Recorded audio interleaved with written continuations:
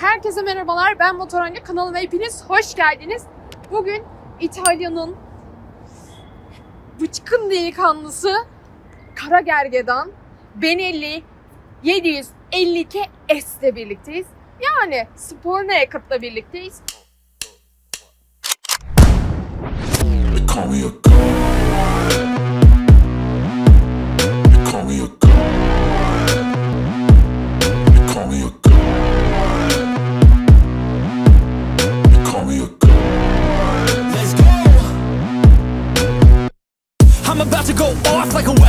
Fuel to the top, got a filled up engine. In my thoughts, obsession. I will not stop, no, I'm never second guessing. I got a God complex. Haters love to hate, but I never feel pressed. Got a lot on my plate, but I never get stressed. I'll take all the pressure like I'm acing this test. Oh, tear it up like I'm Jason. I see the world like it's ready for the taking. I see this place like a game I'm playing. Straight to the bank to collect my payments. No negotiations, it's my way, I was born impatient. And like a damn Freemason, I'll run this nation. They call me a god.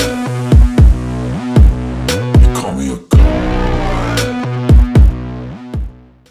forumlarda görüyorum, çok videolarda görüyorum. Ne ödüğü belirsiz dal yaraklar çıkmış diyor ki Benelli Çin, Çin, Çin, Çin. Ne biliyor da Çin diyor konusuna geldiğinde bir bok bildiği de yok. Şimdi o bir bok bilmeyenler bu videoları izleyip bana sağda solda sallıyorlar. Ben de dedim ki o zaman şöyle bir sizi bir aydınlatayım. Önce Benelli'nin tarihiyle gireyim. Sonra da şu Kara Gergedan'ı anlatalım bakalım ne numaraları varmış. O zaman bir tarihiyle başlıyorum anlatmaya. Benelli'nin tarihi aslında daha Honda'lar, Yamaha'lar yokken daha Harley'in kuruluş zamanlarına denk düşüyor ortalama.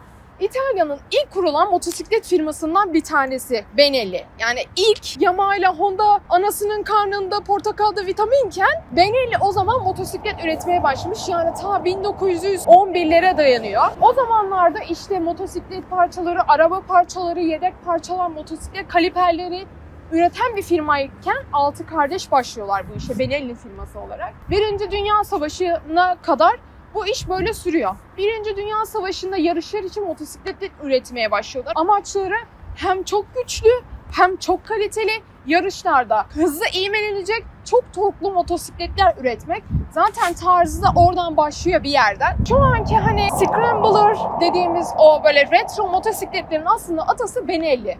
Onlarla birlikte başlıyor bu iş. E sonra bu iş ivmeleniyorlar, yarışlara çok güzel motosikletler hazırlıyorlar, yarışlarda kupalar alıyorlar, birincilikler kazanıyorlar vesaire. Ta ki 2. Dünya Savaşı'na doğru. 2. Dünya Savaşı'nda fabrikaları ciddi hasar alıyor. 2. Dünya Savaşı'na yaklaşırken zaten yarışlar vesaireler bitmeye başlıyor. Yarışların bittiği dönemde de Benelli ile birlikte çok ünlü o zamanın pilotu kaza yapıyor ve o kazada ölüyor. Zaten o zaman onun üzgünlüğünün üzerine bir de 2. Dünya Savaşı başlıyor ve fabrikaları çok ciddi hasarlar alıyor. O hasarları giderebilmek için savaştan sonra 2. Dünya Savaşı'ndan sonra bin tane motosiklete çok cüzi rakamları alıyorlar. Savaşta atılmış artık kullanılmayan motosikletleri alıp revizyon yapıp üstüne yenilemeler yapıp halkın kullanımını açıyorlar. Çok ciddi ivmeler kazanıyorlar. Sonra artık ihracat dönemi başlıyor. Amerika'ya artık motosiklet göndermeye başlıyorlar. Artık Amerika'nın tek devi Harley olmaktan çıkıyor. Artık Benelli de oraya motosiklet göndermeye başlıyor. Arjantin'dekiler bu işi çok seviyor, çok beğeniyor. O zamanlar işte ilk çift silindirler, işte 3-4 silindirler falan çıkıyor ortaya. Ama 1950'lere doğru ilk Honda ile başlayıp sonra Yamaha ile devam eden Japon piyasası çıkıyor ortaya. Japon piyasasının ortaya çıkmasıyla birlikte biraz daha rekabet kızışıyor. Rekabetin kızışmasıyla birlikte birazcık böyle sektör çalkalanmaya başlıyor. Benelli birazcık güç kaybediyor. Arjantin onları destekliyor. İşte onlardan motosiklet almaya devam ediyor falan. Diyorlar ki bu iş böyle olmayacak. Bir tık daha maliyetini düşürmek için artık o çift silindir, 4 silindirin yanında tek silindir motosikletler de üretmeye başlıyorlar. Japonla yarışmak için yani daha fazla satış yapabilmek adına. Sonrasında işte satıyorlar vesaire. Ondan sonra günümüze kadar geliyor. Ta ki 2025 2005 yılına kadar pardon 2005 yılına kadar 2005 yılında şu an işte Volkswagen gibi firmalara işte Peugeot gibi firmalara da aslında ortak olan bir Çin Çin aslında orada çıkıyor. 2005 yılında ortaya çıkıyor. Çin firması diyor ki ben sana ortak olayım. Yani şu an bir sürü şirket ortaklarında olduğu gibi geliyor Benelli'ye bir para koyuyor ortaya ve ben sizin diyor ki büyük ortağınız olayım. İşte eee, daha hızlı üretim yapalım, daha hızlı motor çıkaralım, daha fazla motor satalım. Orta Doğu motosikletleri için daha böyle em, orada Çin üretimi yapıyorlar. Daha BN'ler, BN 125, BN 250 gibi olan motorlar Çin'de üretirken 752S gibi motorlar da İtalya'da üretilmeye devam ediyor. Yani işin özü daha hiçbir motosiklet firması ortada yokken her hepsi daha portakalda vitaminken Benelli çıkmış ortaya. Yani işin özü Japonlar Benelli'den feyz alıyorlar. Onlardan işte Harley'den işte Benelli'den yani her şeyin atası Benelli. Sonra sonra işte Ducati'ler, Yamaha'lar, Trump'lar, KTM'ler ondan sonra artık piyasaya yavaş yavaş giriş yapıyor. Bazılarının girişi de daha 2000 yıllar 2000 yılından sonra olmaya başlıyor. Yani bu 112 yıl sanırım yanlış söylemiyorsam bir geçmişi var. Yani geçmişi çok sağlam bir firma. Bunu da motoru eğer bir gün sürme şansınız olursa özellikle işte 502C'dir, 752S'tir, TRK gibi motosikletleri sürme şansınız olursa anlayacaksınız ki İtalyan çok başka. Bu iş ne Alman'a benzer ne Japon'a benzer. Şimdi anlatmaya başlayacağım. Bu söylediklerimi detaylarda da göreceksiniz. O detaylardaki o İtalya- İtalyanın bir işçiliği vardır. Japon'un yapamadığı tek şey tasarım ve aralardaki o detaylardaki işçilik. Her videoda söylerim koyulmak için koyulmuş diye. O yüzden bu benim söylediğimiz tarihi kısmı şimdi aklınıza bir koyun. Şimdi anlattıklarımı onunla bir bağdaştırırsınız belki. Çünkü detaylarda çok şey var. Anlatacağımız çok şey var. O zaman başlıyorum. Benelli 752S tasarımından da anlayacağınıza göre belki bir şey çağrıştırıyor size. O çağrıştırdığı şeyi de ben söyle, size söyleyeyim. Monster görmüşsünüzdür hayatınızda. Ducati Monster. Çok benziyorlar. Kuyruk tasarımı, işte şasinin gelişi, motorun çıplaklığı, görüntü. Çok ciddi benzerlikler var. 502C'de de bunu görüyoruz zaten. Tasarım olarak çok güzel bir motosiklet. Böyle o ince detaylarını size buram buram o İtalyan esintisini hissettiriyor. Motor bloğuna baktığınız zaman inanılmaz uzun bir silindir piston kolu var. Bu silindir piston kolu 750 cc gibi bir güç sarf ediyor.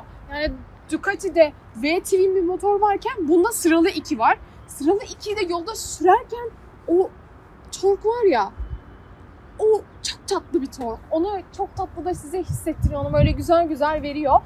Bu benim Japonlarda kullan, kullandığımda hissettiğim bir şey değil. Ne Yamaha'da hissettim ne Honda'da hissettim. Bunu belki şeyde hissetmiş olurum birazcık Trump'ta.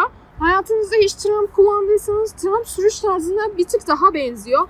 Oradan size bir çağrışımda bulunması için söylüyorum. Hani Trump sürdüyseniz böyle bir yakınlık sezebilirsiniz orada. Sıralı çift silindirin verdiği o böyle tatlı şöyle gidiyor bak anlatayım. Pıt pıt pır diye gidiyor. Ya böyle pır diye gidişini hissediyorsun ya. 76 beygirlik böyle 64'lerde falan Newtonmetrede bir tork üretiyor. Tork eğrisi de çok acayip. Yani ne önden veriyor torku ne sonradan veriyor torku. Böyle tork dengesini biraz daha geniş tutmuşlar. Geniş tork eğrisine sahip. Zaten vari de geniş tork e- eğrisiyle birlikte torku genele yaymak. Bütün genel devirlere yaymak.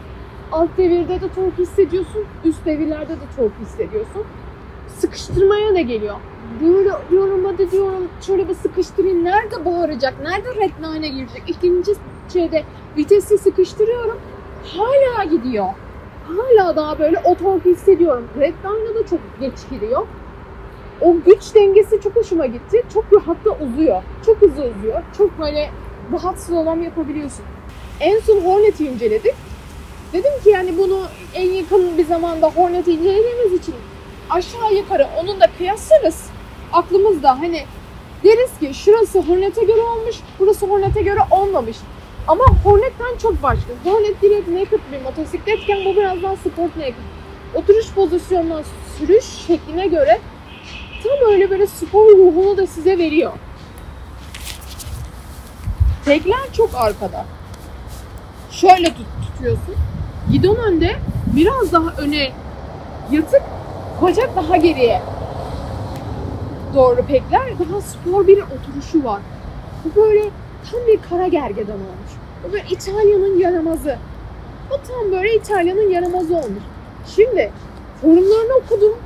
Bayağı yabancı işte Avustralya forumlarını okudum. İngiltere, İtalya hepsini okudum. Herkes çok beğenmiş. Kimse işte bir şeyinde kusur bulamamışlar. Tek kusur bulunabilecek noktası belki Torkun'u çok beğenmemişler. Yani bazı insanlar Torkun önceden gelmesini istiyor bazıları geriden gelmesini istiyor. Bazıları da çok be- beğenmiş. Beğenen kişiler de biraz daha motor tecrübesine sahip. Biraz daha kilometre yapmış. Ben artık işte motosikletten anlıyorum. Güzel de bir kilometre yaptım. Uzun sürelerde yol gittim. Ne alabilirim 750 cc'de? O kafada olanların motoru bu. Çok deneyimli abilerimizin de çok keyif alacağı bir motosiklet haline gelmiş. Tabii bu böyle göbekli amcalarımıza falan söylemiyorum. Bu biraz daha genç, dinamik, o spor ruhunu kaybetmemiş. Ama ben işte spor ruhlu da bir motosiklet arıyorum dersen 752 S tam sana göre. Detaylardaki o işte böyle Benelli'nin detaylarında hissedebildiğin en güzel şey zaten tasarımının üstteki işte böyle sağına soluna buraya bakıyorsun bir şey buraya bakıyorsun bir şey şuraya bakıyorsun bir şey bir şey bir şey bir şey bir şey hep motorları hep dolu dolu getiriyor. Böyle ben motoru verdim. Atıyorum. Hiçbir markaya sallamak gibi olmasın. İşte ben bu motoru 200 bin liraya getirdim mi abi? Sen buna 30-40 bin liralık da aksesuar kakala üstüne. Zaten alacak adam mecburen. İşte bloğunu korumak için, radyatörünü korumak için falan. O kafada getirmiyor. Her şey böyle üzerine paket program sana teslim ediyor.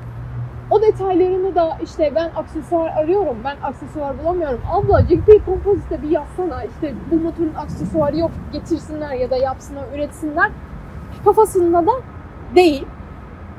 Benelli'nin işte en önemli kısımlarından bir tanesi de daha işte tarihte ilk ürettikleri motosiklette bile çelik tüp şase kullanıyorlar. Yani motosiklet firmalarında ilk kullananlardan bir tanesi çelik tüp şaseyi Benelli. Ama hala da o çelik tüp şaseden vazgeçememiş.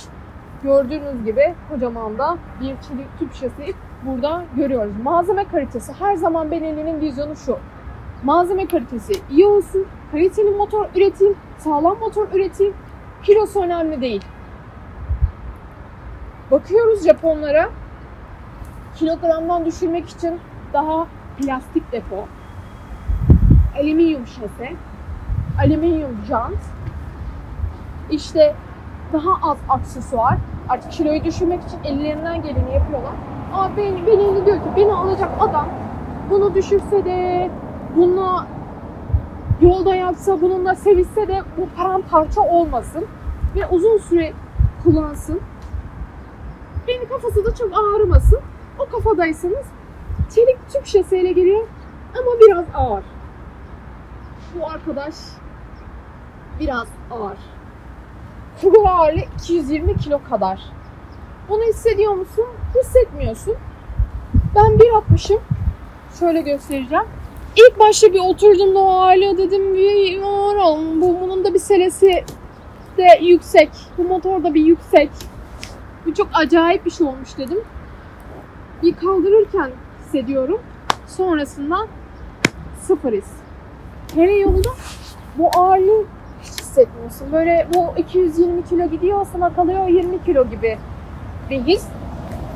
Blokta koruma var. Radyatörde koruma var. Egzoda da koruma var. Hep düşürdüğünde ilk kırılan yer işte şunla şu arka pek artçı pegiyle ön pegi bağladıkları zaman ortadan kırıldığı için de bunu ikisini bir güzel tatlı tatlı da ayırmışlar. Daha işte baktığın yerden her yerden bir koruma çıkıyor. Bakıyorsun koruma, bakıyorsun koruma, bakıyorsun koruma, bakıyorsun koruma. Yağ tankının üzerinde bir koruma, koruma, her yerinde bir koruma var. Düşürdüğün zaman motor ne kadar az zarar görürse o kadar kar değil. Adam hiç kilosuna, mesin, bilmem nesine bakmamış. İtalyan mühendisleri korumasını her yerine koymuş. Bütün detaylarını bütün detaylarını böyle düşünerek tatlı tatlı yapmışlar. Aynalara geliyorsun. Hiç sevmediğim Japonlarda aynası, ayna tasarımı, ayna tasarımı diye bir şey yok zaten. Getiriyor en işte bu olur deyip takıp geçiyor aynayı. Adam aynaya bile önem gösteriyor. Çünkü aynanın şu sivri gelişi, bloğun bu sivri gelişi, kuyruğun buradan gelip işte sivrilip çıkması, egzozun buradan sivrilmesi, kafanın aşağıya doğru adeta işte böyle gergedan boynuzu gibi aşağı inmesi. Hepsi bunların düşünülmüş tasarımlar. İşte görüyorsun şurada bir eliyorsun, kaliteyi burada hissediyorsun. Depo çelik, depoda hissediyorsun. Anahtarda hissediyorsun. Çok güzel. Yani şunu bir Benelli yapıyor herhalde zaten. Kırılmaması için. Çantanı attın, cebine attın kırılmasın diye. Hep o detaylarını hissediyorsun. Sele konforu çok güzel. Bunu artçı da alırsın. Diğer naked motosikletlerde söylediğimin aksine buna çok güzel artçı da alırsın. Artçı selesi de gayet güzel. Ve büyük oturuş pozisyonu bir kere çok güzel ve çok rahat. Amortisörlerine geliyorsun. Baba yolda yol çalışması vardı yine. Bay- Zaten şu İzmir'in yol çalışması bitmedi gitti böyle köyden hallice bizim yollarımız. Motorları test etmek için de birebir oluyor artık o yollarda. Amortisör boyları zaten inanılmaz kalın yani. Benim bileğimden kalın amortisörler var. Marzocchi marka ters amortisör kullanmış. Amortisörlerin çalışması çok güzel. Arka amortisör ayarlanabilir yüzer amortisörlerden. Fren kaliperlerine geliyorsun. Benelli'nin en iyi yaptığı şeylerden bir tanesi zaten fren, fren kaliperi üretmek. Yıllardan beri ABS yokken bir ABS gibi çalışabilen böyle Brembo'yu aratmayan bir amortis şeyleri varken, fren kaliperi varken bu sefer üzerine Brembo ile gelmiş. 4 pistonlu Brembo kaliperleriyle birlikte geliyor. Bu fren sadece işte ben Brembo koydum, ABS'yi de üzerine ekledim. Köpekler alsınlar işte ben böyle yaptım falanla bitirmiyor. O çin çan çin çon dedikleri motor var ya böyle göme göme konuştukları. Pirelli Angel GT ile birlikte geliyor. Yani motosikleti zaten taşıyan iki tane lastik. Lastiği de dandik lastikle göndermezsin değil mi? Adamlar Pirelli ile birlikte gö- gönderiyor. Üstünde Çin dediğiniz marka var ya Benelli. Pirelli ile geliyor. Anladın mı? Ne korumasına para veriyorsun, ne bu motoru aldığın zaman lastiğine para veriyorsun. Alıyorsun ve yola çıkıyorsun. Artık bundan sonrasında hiçbir şey düşünmüyorsun.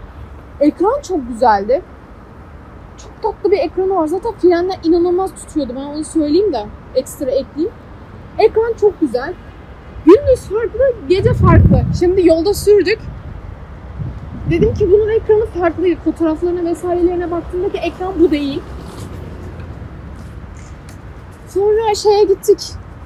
İşte köprü altından işte durduk kameranın yönünü değiştirelim diye.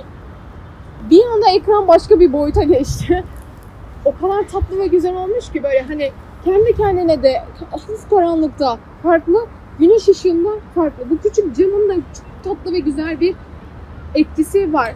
Bu Japon gibi işte ben teknolojiyi doldurdum işte tork kontrolünü, modları bilmem ne bilmem ne doldurmamışlar. Salt motosikleti hissedebildiğin, motosikleti dolu düzgün yaşayabildiğin her şey var. Bence tasarımın bir noktada dezavantajı da şu. Bir arıza yaptığı zaman çok ciddi maliyetler çıkıyor ortaya. Zaten servisler cep yakıyor. Adam seni buldu mu soyup somana çeviriyor. Seni böyle donunla birlikte çıkarıyor dışarıya. Donuna kadar soyuyorlar adamın. Ve de bunun içine teknoloji eklendiği zaman yok işte hemen abicim beyninde atar varmış, beyni yanmış. Abicim hemen şurada bir arıza varmış, bu kafayı beyni değiştirmemiz gerekiyor deyip hemen buldukları yerden sokuyorlar. Ben teknolojik motor hiç kullanmadım bugüne kadar. Hiç de teknolojiyi aramadım. E varsa vardır, okey. Varsa güzel. Tamam, seviyorsan onu alabilirsin ama benim gibi teknolojiyi aramıyorsan da bence çok tatlı bir ekranı var. Çok da görünür. Güneşin altında da gece karanlığında da çok güzel gözüküyor ve işte gündüzü geceyi de falan filan ekranın rengi de değişiyor. Yolda köprü altında durduğumuzda fark ettiğim bir noktada kontrol tuşlarının altındaki o yanan mavi ışıktı. Ben hiçbir noktada görmemiştim hani fark da etmemiştim. Böyle beyaz bir çerçeve gibi bir şey gözüküyor. Bu en çok işte kullandığınız far aç kapat tuşu işte far stop tuşu vesaire onların altından çok tatlı bir mavi ışık da yanıyor. Tuşları karanlıkta daha rahat bulabilmeniz için ekstra hani telefonun fenerini açıp şöyle ben start stop vesaire falan aramamanız için çok tatlı düşünülmüş bir olay da var. Yine gidon açısını kendinize göre ya öne ya arkaya ayarlayabiliyorsunuz. Benim için gidon açısı çok okeydi. Ama isterseniz biraz daha geride olsun. Geriye de alabilirsiniz. Daha önde oturmak istiyorum. Benim boyum daha uzun diyorsan bir tık geriye de alabiliyorsun. Gidon açısıyla da oynayabiliyorsun. Aynı fren ve debriyaj ayrı debriyaj aynı fren ayarını yapabildiğin gibi. Frenlemesi bizde ikinci kademede. Ben çok tatlı buldum. Bana ne sert ve yumuşak geldi. Tam ayarında. Ben çok yumuşak olmasını sevmiyorum. Çok sert olduğu zaman da gücüm yetmiyor sıkmaya. Sürekli sık bırak sık bırak yaptığımız için de ellerim bir noktadan sonra ağrıyor. Özellikle trafikte. Ön kafa çok acayip abi. Önden duruşu çok başka. O çıplak motorla birleşmiş bir böyle gergeden boynuzu gibi gibi bir kafa var. O kafa çok acayip. Yani bu böyle bir şeye benzeteyim diyorum, benzetemiyorum. Çünkü hiçbir şeyde gördüğüm bir şey değil. Başka İtalyanlarda da gördüğüm bir durum değil. Başka Japonlarda da gördüğüm bir kafa değil.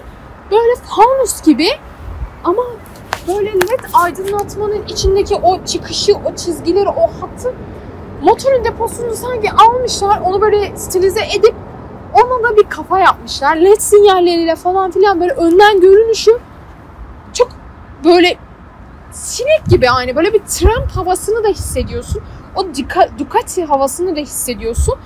Böyle önden çok kallavi bir motor. Abi arkamdan çok kallavi bir motor geliyor. Aynadan görsen öyle söylersin. Çünkü depo da çok büyük. Ekstra radyatör çok geniş. Kafa bir acayip değişik böyle bir güzel. Bu böyle kuyruk geliyor böyle kadın gibi böyle bir kıvrılıyor 90-60-90 meret. Burada böyle bir sivrilip kalıyor. Stop eseri çok güzel. Egzozun duruşu acayip yani. Hani Akropovic egzoz almış da takmışsın edasıyla.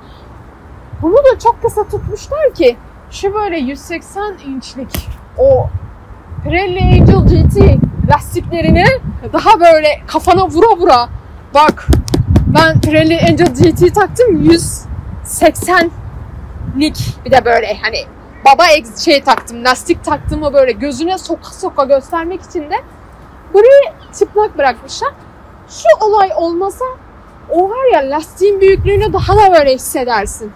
Daha böyle abi baba ben senin o bildiğin motorlara benzemem.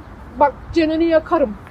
O modda benim tork kontrolüm yok. Bilmem neyim yok. Quick shifter'ım yok falan. Hani az biraz fazla gaz açarsan götüm başımı dağıtırım. Kafasında da bir 180 inçlik bir lastik var. Dağıttım yolda dağıtmadı. Çok güzel gaz açtım. Açtığımda da böyle pır pır pır pır deyip gitti. Sesini dinleteceğim. Sesi de bugüne kadar duyduğum motorların hiçbir tanesine benzemiyor. Muhtemelen size benzetemeyeceksiniz. Bu bir başka olmuş. Bu bir tam bir İtalyan olmuş. Böyle bunu onun yanına oturacaksın bir kafede. Alacaksın eline mozzarella peynirli pizzanı ya da spagettini yerken motorunu seyredeceksin. İnanılmaz da bunu izlerken çok da keyif alacaksın. Böyle senin benim bildiğim motorlara benzeyen bir motor değil. Bu canımızı yakar. Bir değişik, bir acayip bir şey olmuş. Egzoz tabii ki de benim böyle en önemli noktam olduğu için hemen bunu size dinletiyorum. Sonra da bu servis, bu parça, bu distribütör konusunda bir konuşalım istiyorum sizinle. Bu bana çok gelen bir soru. Bir aydınlatalım artık daha da üstünde konuşmayalım istiyorum.